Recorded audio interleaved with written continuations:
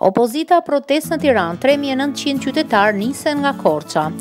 Nga juglindja e vendit 3400 protestues janë nisur për të marrë pjesë në protestën e Partisë Demokratike. Kryetari i degës së Partisë Demokratike në Korçë, Andrea Mano konfirmon se nga kjo degë janë nisur 1500 protestues.